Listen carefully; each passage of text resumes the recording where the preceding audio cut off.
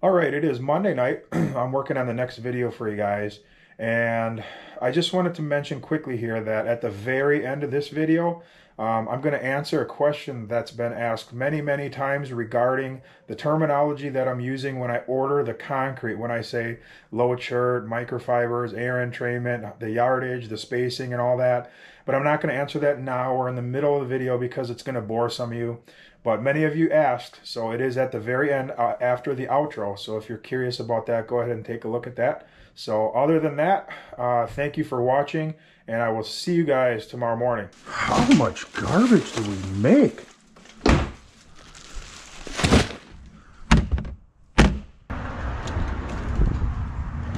Where is Scott? Man, he better be here. Seven days a week. Um, hey, you guys seen Scott? Hmm? Yeah, You he's seen. Scott? Yeah. Man, I think I ran in the back to go. I gotta say hi to him every day or my day ain't right. There he is. Man, I was worried there for a minute. No, I'm digging out some stuff that we need. Coffee business good? Oh yeah. Yeah, if I don't say hi to Scott every morning, I just know I'm not gonna have a good day. Thank you very much. Have a great See you day. next time. Yep. Just the three of us. Hopefully we got it. I gotta send you to Sonag to get some color. I gotta go get some conduit. We gotta put all kind of conduit in the patio, up in the pillars and all that. Daryl, did you really drive this trailer home last night without tying these blocks down? Of course not. Yeah, right. I had them tied down. No, you didn't. I took twine. Oh yeah, and then you took them off last night. Yeah. Oh yeah, okay. You uh, know what? I gotta go get conduit anyway. I might as well just stop and get the color too. Yeah. Follow him to Schmitz. He's gonna grab, help him load up some rebar and then take him to the job and just get it ready to pour and I'll be right there. Bob, just go to the job. That's what it is. Yeah, you still smoking? I have like one in the morning and one going to food. When I like, Oh, come on. Well, I just pulled into a local supply company called Rivcrete. It's a good place. I get my uh, color hardener and my uh, release agent from them all the time. I've been doing business here for a long time. How's it going? Hey, how you doing, man? Good, how are you? Good. Long time no see. Yeah, yeah, for sure. How's business? Good. Morning, how are you? Good.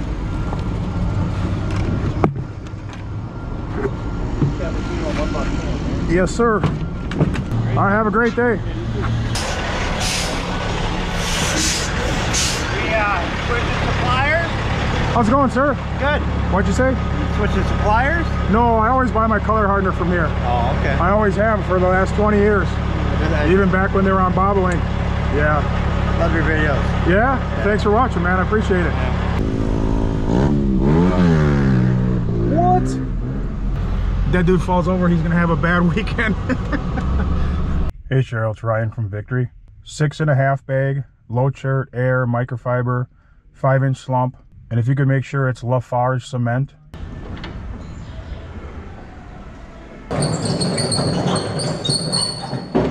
Had to have grabbed the squeakiest cart in the world. Did you hear that? Yeah. I almost got a headache just from driving it from there to here. Have a good one. Thank you. Have a great day.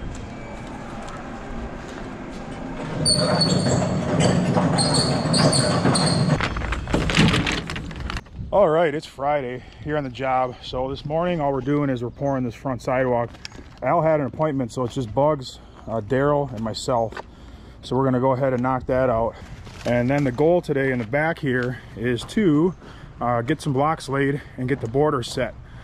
So the fire pit here, I'm gonna lay that up uh, right around that ring, that galvanized ring that I have. And then there's a seat wall around half of this circle with two pillars. I'm gonna lay that up. And then there's gonna be a stamped concrete border here and a stamped concrete border here. And it's gonna flow right into the stamped circle. So it's gonna look real nice, but the goal is today to get that set so Monday morning we can start pouring the stamped concrete. Man, this customer set us up nice. I know. He's trying to get best customer of the year award. I think so. It's gonna be tough because we've had some good ones. But he set us up nice with a cooler, help yourself. Filled it up with ice and Gatorade. And then he's got a coffee bar over here for us, all set up. Man, this is awesome. Thank you very much when you watch this video. We really appreciate it. We're gonna use a buggy. Did we get the For the walk, yeah. We'll just do like a half a buggy at a time so it don't Yeah. splash the house. Yeah, Daryl can run the buggy and then you can puddle, I'll strike off. Hey, Did you see that look? He's like, not today, brother. let, let Bob. Bugs love striking off. What about Bob? Oh, Bob can strike off. Yeah. Yeah. Oh, That'll be interesting. This is Lafarge cement. I have to order specifically Lafarge now. Be interesting to have a. See if there's a big difference. I bet there is too. Morning. Oh, I like the hat. You're the man. You just put that on this morning for us, huh? All right. I'll have to put you on this video then just for that. Let's take a look. That looks good, man. You actually came in a good slump.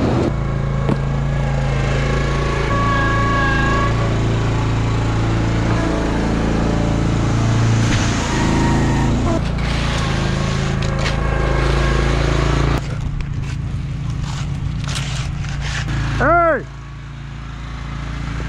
Put two gallon. You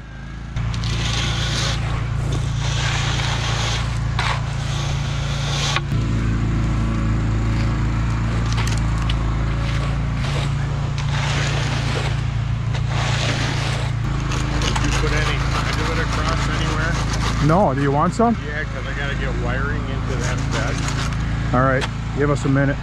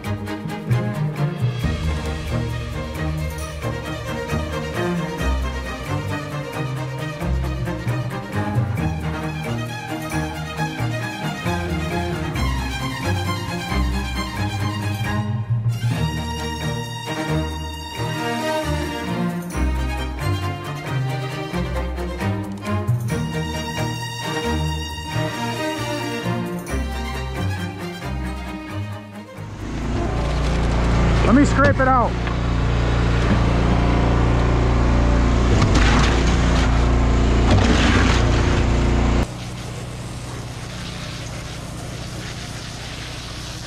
All right, we just dumped the sidewalk. Driver's washing out. Bugs is bowl floating. I'm gonna start edging up the sidewalk right now. That went pretty good. So we changed back over to Lafarge cement this morning, and at least so far, it seems like a night and day difference. Because if this was the concrete we used the other day, we'd already be fighting it up here, and it's nice and wet still. So that's a good sign. Well, that seems to be the difference. The Lafarge cement compared to the St. Mary's they've been giving us the last five loads. This is more like it, man. This is what we want, especially on a Friday. Yes. Love it.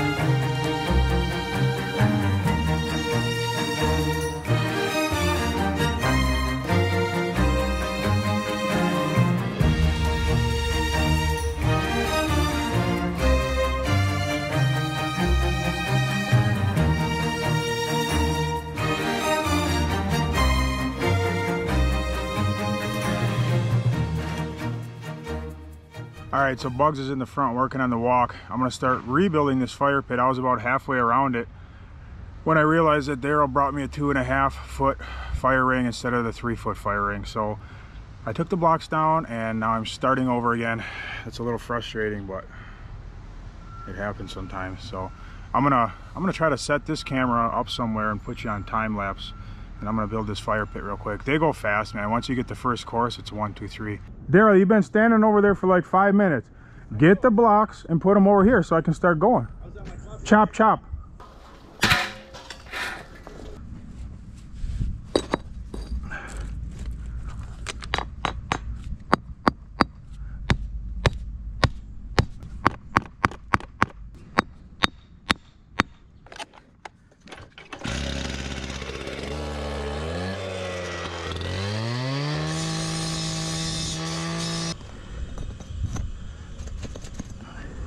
All right, so I just finished up the first course of the fire ring there. The first course of any retaining wall or seat wall or fire pit is always the difficult one. It's the time consuming course because you have to level them, you know, in both directions. And uh, once you get the first course, the rest of the courses, basically you just glue them and stack them right on top of each other and goes up one, two, three.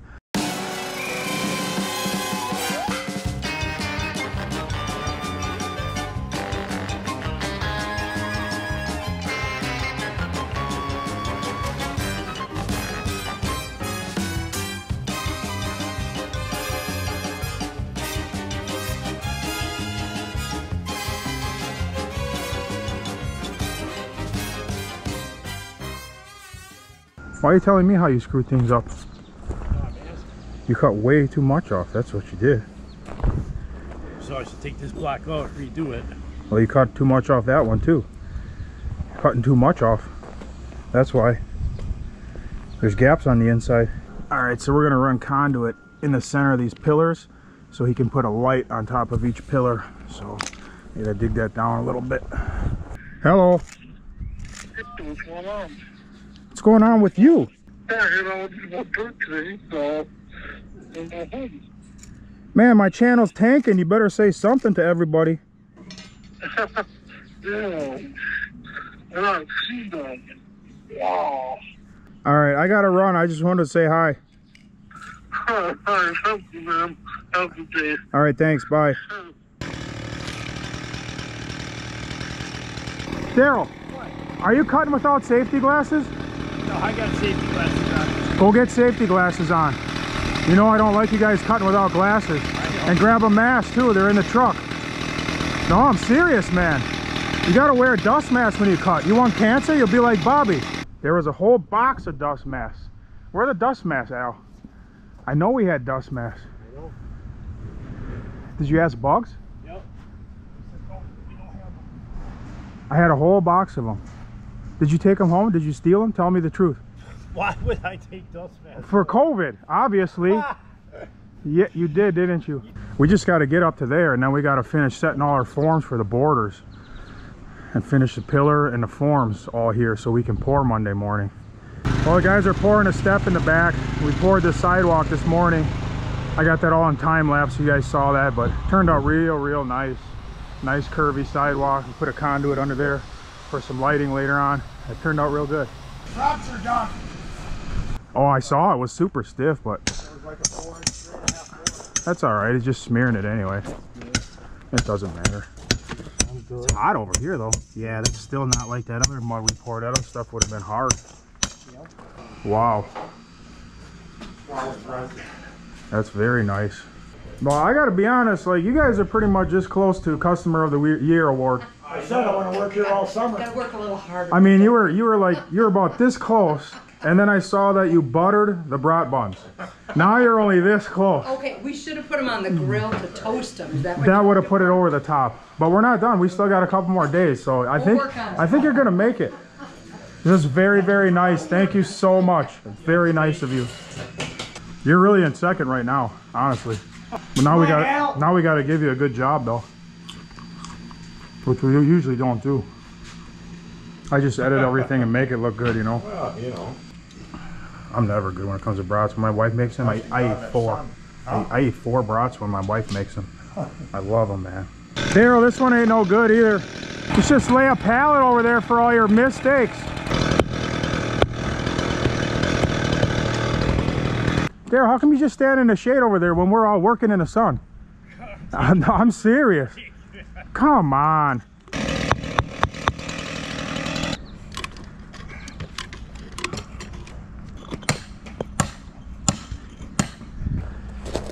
the border and the scoop on Monday and then and it just start pouring out. This concrete from the sidewalk, it's hard. I'm not worried about this getting damaged at all. We just poured that step in the back and Al was gonna smear it and stamp it and I told him to hold off. We're just gonna smear it and uh, stamp it on Monday. So it's pretty early in the afternoon. We just had lunch. But this might cause us to wrap it up for the day. I think it's just a sprinkle. feels good. It does. I think it's almost done. Daryl, what you been doing for 15 minutes? Come on. It's going good so far. It's just a little hot. I'll see you Monday, Bugs. I'll see you guys in the morning. Have a good weekend, brother. Too, brother. Mm. Where's up? Nothing, nothing for the boss man. Wow. Where's? All right, we're all done on day two here on this new project. So the front walk is all done. We poured that this morning, and then I'll show you the back here. So we made some progress on the back. So we're pouring borders, as you can see here, all the way around. The standard concrete's going in the center. The stamped concrete's going on the borders, and then it's gonna flow into a stamped area up here around the fire pit and pillar seat wall area. So that's kind of what we got done today. And then that border goes up to the wall. We did pour the patio door step, but it started to rain and Al was about to smear it. So we're gonna leave it alone. Al's gonna smear it and stamp it on Monday uh, while we pour the rest of this concrete here. Daryl, you tired? Me? No. Not at all? Uh-uh. I'm not really tired either. It's I'm only just like, hot. it's only like 92, I know. A little humidity. That's it. It's It's just beautiful. a little miserable, but you know, it's Friday, so Exactly. I feel good. So do I. We are gonna pour a little apron on the uh, shed door there too, three foot apron. And then we're running electric up into these pillars. We're gonna put lights on each pillar. He's gonna have various landscaping lights on the outside of the patio too. It's gonna be a nice job. All right, we're done for the week. So I will see you guys right back here on Monday morning. Adios.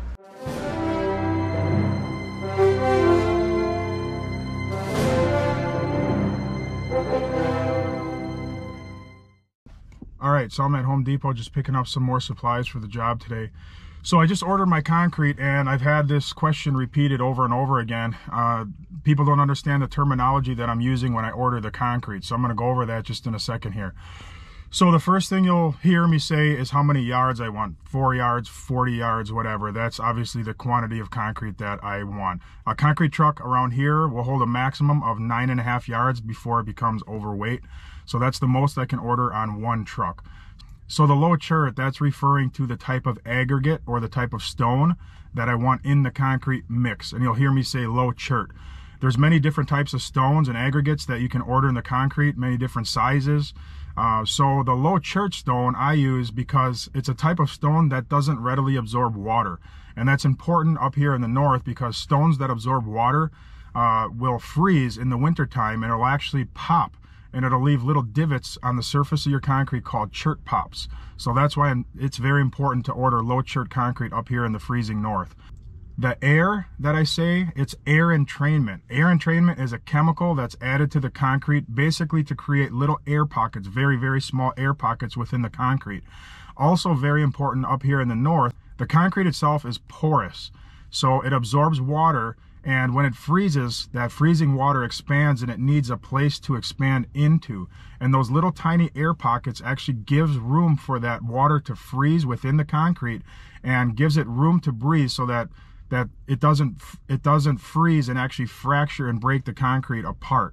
So that's called air entrainment. Microfiber, which I also add in the concrete, is a type of reinforcement.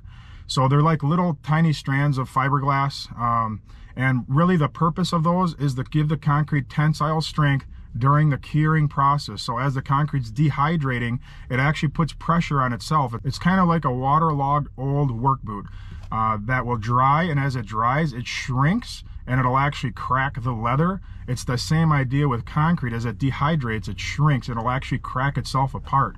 Those are called shrinkage cracks. And that uh, microfiber helps to reduce the risk of those. After the concrete's cured, uh, microfiber has very little to no benefit to completely cured out concrete. That's why we use wire mesh as well. And then sometimes you'll hear me say 20 minutes apart or 25 minutes apart.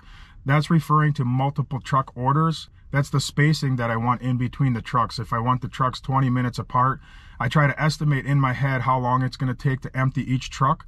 Uh, say, for instance, it's going to take 20 minutes, so I want the next truck 20 minutes right after that one. So that keeps the concrete fresh as you're pouring so you can handle it and have time to work with it. So I hope that answers that question. I've had that question many, many times on the comment section. And uh, like I said when I explained the control joints, I'll answer those questions in a video like this if I get it repeated often enough.